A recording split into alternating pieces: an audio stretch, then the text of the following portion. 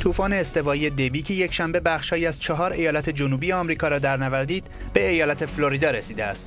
در بخش گسترده ای از باریکه ساحلی این ایالت آمریکا وضعیت اضطراری اعلام شد. سرعت طوفان دبی تا 95 کیلومتر در ساعت برآورد شده است.